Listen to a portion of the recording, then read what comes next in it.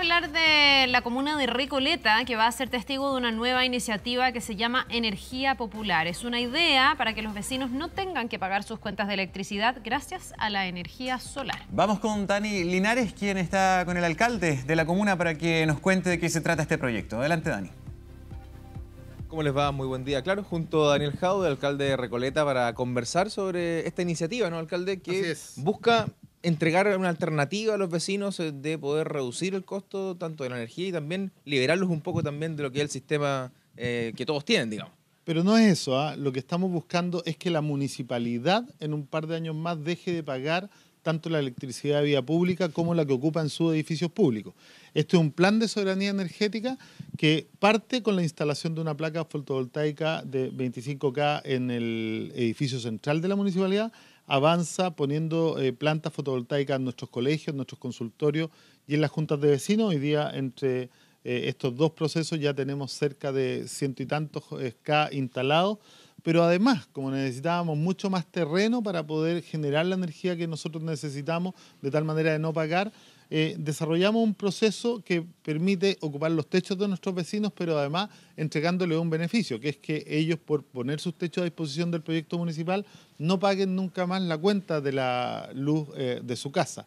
Esto eh, se hace a través de un sistema y de un contrato en donde el empalme eléctrico y el medidor de los vecinos quedan en el RUT municipal asociado, de tal manera de que en lo que se instala en sus casas genera todo lo que ellos requieren y mucho más que se le inyecta a la red y lo que se le inyecta a la red es descontado eh, de la factura municipal. Alcalde, con el edificio consistorial, colegios y diferentes reparticiones municipales, más estas 43 viviendas, ¿con eso le alcanza Recoleta para cerrar este contrato con, eh, la eléctrica y tener eh, alguna este suministro alternativo? A ver, nosotros partimos con este plan de soberanía energética cuando decidimos avisarle a Enel el primero de mayo de este año que nos íbamos a descolgar de su generación en términos de poder salir a licitar la generación, porque hay eh, productores de energía mucho más baratos que en él eh, y no estamos de acuerdo en que estos monopolios obliguen a la gente eh, y de hecho estamos promoviendo que se baje el límite para ser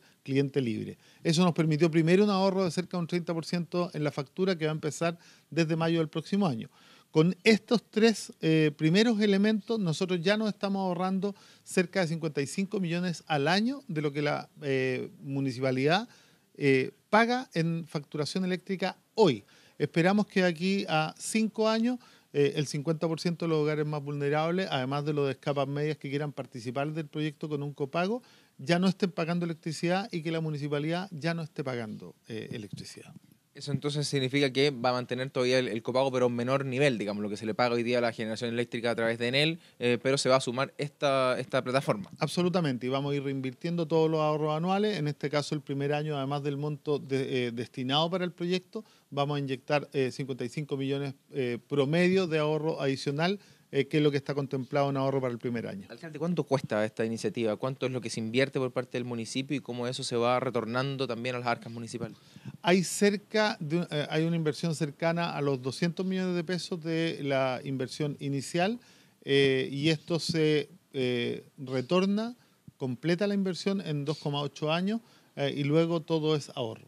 Aquí está, bueno, instalado ya en este domicilio. Tenemos la imagen aérea del móvil con las placas fotovoltaicas sobre el tejado de esta vivienda, donde además también está la, conexión aquí, alcalde. Usted puede contar también cómo, cómo funciona. general, pero además tenemos esta aplicación que nos permite monitorear eh, cada vivienda.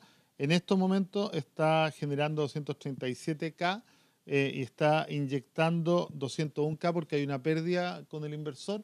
Eh, y es porque es demasiado temprano, ¿no? Todavía recién el sol está saliendo, pero eh, está hoy día, eh, según lo que nos plantean las luces que están prendidas ahí, a un cuarto de su capacidad. en algunos minutos más ya va a estar generando a toda su capacidad cerca de 2 kilowatts. Y vamos a estar inyectando la mayor parte de eso a la red porque esta es una casa que tiene un consumo promedio entre 18 y 24 mil pesos mensuales, que es lo que se va a estar ahorrando eh, esta familia. Alcalde, lo último, para los vecinos de la comuna eh, que quieran interesarse en este proyecto, ceder el espacio del tejado para instalar estos paneles, eh, ¿cómo deben hacerlo o ya está zanjado quiénes van a participar de este proyecto? No, no, pueden acercarse y se van a abrir postulaciones para la segunda etapa. Esto era un plan piloto que tenía la intención de primero empezar a preocuparse de lo electrodependiente que son personas que además están en riesgo vital cuando se corta la luz y por lo tanto necesitamos que ellos no dependan de eso. Y los pensionados que efectivamente con las pensiones miserables que eh, reciben en nuestro país, ahorrarse 25 mil pesos de promedio mensual es una gran ayuda. De hecho, es exactamente lo mismo que se está aprobando en la reforma de pensiones, eh, lo que está subiendo el gobierno a través del, proyecto. Eh, esto es una forma también de abaratar y simplificar la vida de las personas, que es lo que hemos venido haciendo en la comuna en los últimos siete años.